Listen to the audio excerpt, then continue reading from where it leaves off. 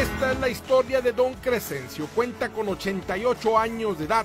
Salió de un pueblito ubicado en el municipio de Toluca, Estado de México.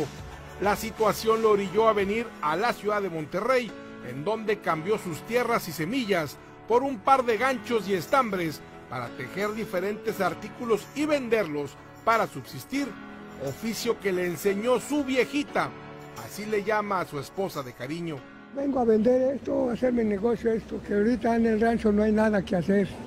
Una cosecha, ahorita, pero como les dio mal la cosecha, ahora no llovió. Y faltó ahora, nos atrasó maíz, sí giloteó, pero no creció. La mazorquita chiquita. Y tenemos que luchar para, para alimentarnos, porque en el rancho que se encuentra nada.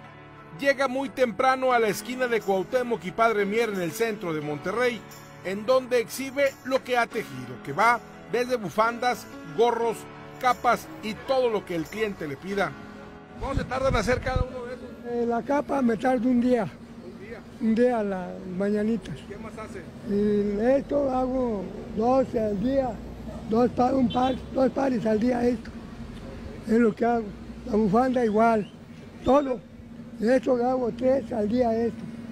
¿Y los precios? Son de a 100. Todos son de a 100. ¿Y la mañanita esa? 350. 350. Es que está cara, es que está cara la lana, variarlo, lavar, este, escardar, pues apenas viene componiéndose uno.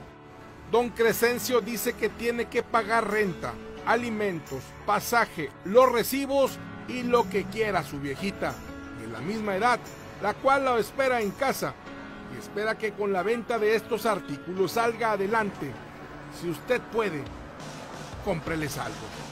Con imágenes de Víctor Rodríguez, Fernando Escobedo Lara, Azteca Noticias.